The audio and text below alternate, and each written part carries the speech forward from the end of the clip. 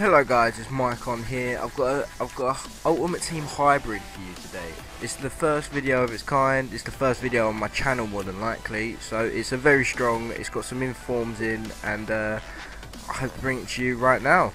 So let's start off with the goalkeeper. First of all, we've got Sam Samir Handanovic in goal for you. He's a he's a monster in goal basically over my personal opinion of him, he's he's very good at one-on-one situations. Like he can make himself absolutely massive against a striker, but other stuff, ah, he can be a letdown. At centre centre back, we've got inform Walter Samuel, an absolute monster at centre back. This 89 defending, I think that is. It says there. It shows so much. At the end of the video, I've got some clips of some of his tackles. Insane. To the left of him, we've got per, per, Peria, Peria, Pereira, however however people say it. Basically, he's known he's known for being quick, uh, like a quick, sweaty centre back. But his tackles are very good. He's very strong as well. anyone running against him, he can nine times out of ten will get back and goal side of them, in in between them and the ball, and do the do the business on the right of Samuel, we've got I we have a choice here because they both get nine chemistry at the end. You can either have Campagnaro or Djourou. My personal choice is Campagnaro. His his defending stats and his heading stats are just they're just superior to Djourou. But you can you can swap about with Djourou if you want if you want to make the team look more of a hybrid rather than just a Serie A and a Bundesliga team, which it probably will end up looking like.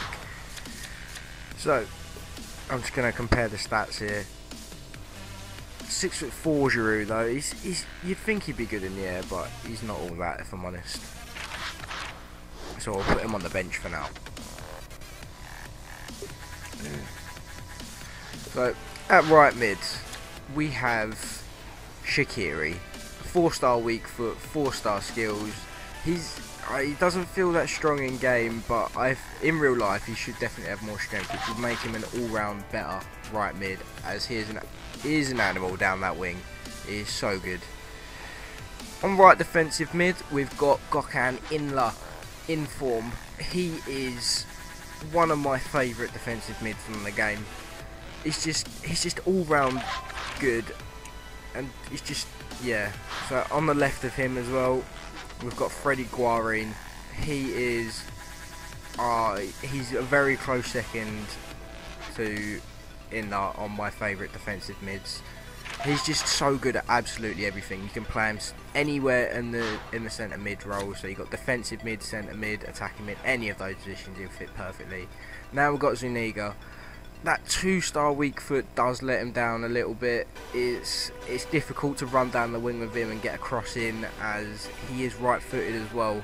So you find yourself cutting back and, and nine times out of ten, I've got to say, he will lose the ball. So it's unfortunate, but he links up with Pereira and Guarin. Now at attacking mid, we've got a choice of two again.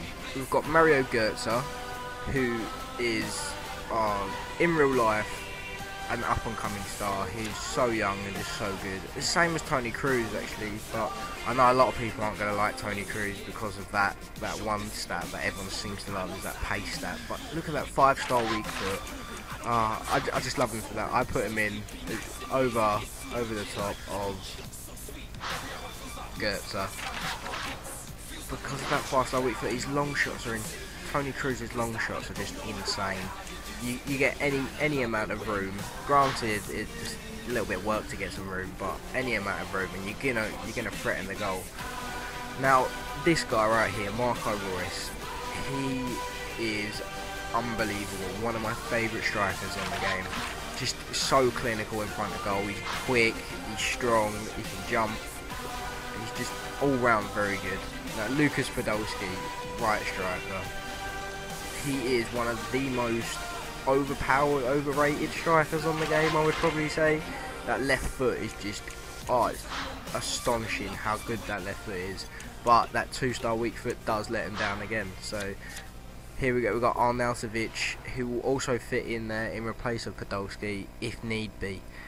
So it, it's your choice really. You can either put Podolski in. You, well, to be fair, any Bundesliga striker will fit in with Podolski. They all get nine chemistry, linking up with Toni Kroos, Götze, and Reus. So that's not a problem. Arnautovic with his four-star weak foot, four-star skills, six foot four, 80 pace, I believe it is. Oh, he's such. He's, he's a very good striker. I loved him on the last FIFA. I love him on this FIFA. I haven't I haven't yet tried out his informed right right mid card I think it is, but I'm I'm excited to do that when I can. So here we go. That's basically the team, guys. We just uh, that you you'll see the team cost adding up at the bottom. I think it turns out to be about 160k. Um, and there we go. Just add the manager. There you go, 160,650 coins, and that is before the market crash that happened in January and that's basically it. So now you're just going to see some clips of me playing with the team. I'm just going to find go through the team here one more time so you can have a quick look. But yeah, at the end at the end of this, you'll see some clips of every. Hopefully every player. I tried to get a lot of clips of everyone doing what they do best. You'll see some tackles and some saves and some goals. So I hope you enjoyed this video and like, rate, subscribe, please do all of that. Um, I've got some more videos coming, more hybrids, different hybrids, strong hybrids, and uh, I've got some ideas for some videos, but thank you guys, like, rate, subscribe, all that, and this is Mycon, and I'll see you guys later.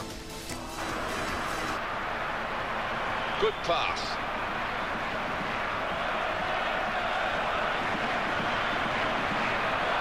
Oh, he takes the shot. They've scored now, and the significance is that they're in front.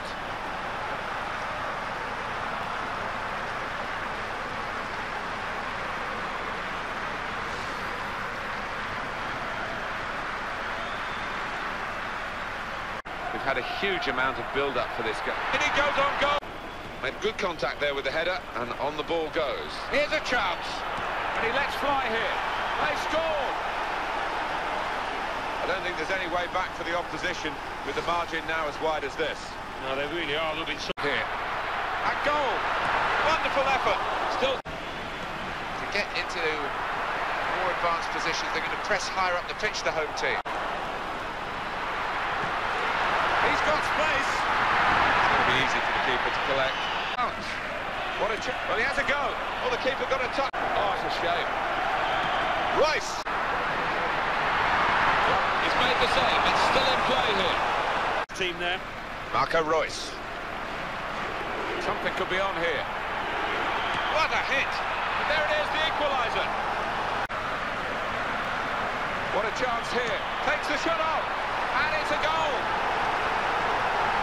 It is a goal, and it was coming. Well, sometimes as a keeper, if you're having a bad day, you're made to pay. Here's the cross. Well, it wasn't the difficult ball.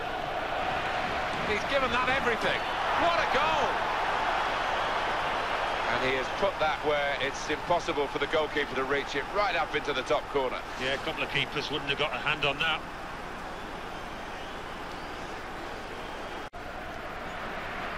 Might need more back here to curb this piece of attacking play. Want to get more men behind. Seen the chance! A goal!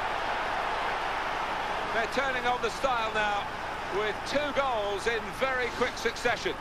Well, it looked an easy take, didn't it? But the hard part is anticipating. Work that throw-in routine. They've lost the ball. Could be a... Goes for goal! And he scores! Well, that might just settle it, Alan. It's a big goal for them. I think they're out of sight. I think so. There's a golfing class out here this afternoon. Very nearly home and hose.